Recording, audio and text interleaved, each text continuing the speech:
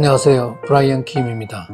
오늘은 브라켓팅 촬영 후 HDR 병합 및 후 보정에 대해서 연습하겠습니다. 브라켓팅이란 노출 브라켓팅을 의미합니다.